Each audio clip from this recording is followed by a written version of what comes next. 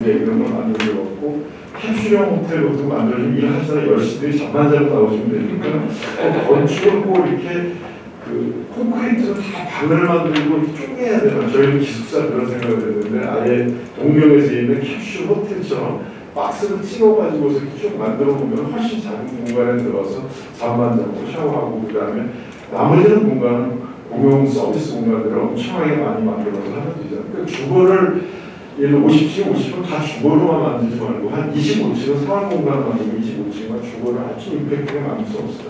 그런 파일럿을 하게 되면 저는 중국에도 팔리고 뭐 동경에도 팔리고 엄청 팔릴 수가 있고 그러면 그런 사람들이 도시에도 사 도시에 사는 게 무슨 주의가 아니라 서울에 5천만이 다 하나씩 살 수 있고 나머지 것도 지방에 가서 넓은 정원 가지고 살 수 있는 일가구 이주택을 할 수 있는 사회가 된다라고 저는 생각하면 훨씬 좋을 텐데 왜 그런 걸 못 해야 모르겠어요. 저는 좀 너무 앞서가는 얘기인지 모르겠지만 그 정도의 생각을 가지고서 할 때 우리가 행복하고 좋은 도시가 되고 도시를 이피션트하게 활용할 수 있지 않을까 그런 생각이 들어서 SH공사의 이렇게, 미래도시 얘기를 하면서 제일 바라고 싶은 거는 좀 그런 아 주 혁신적인 걸 한번 고민해 보시면 파일럿으로 어떠실까 들었어요. 오늘 아주 재밌는 얘기 잘 들었고요. 앞으로도 좀 기대가 많이.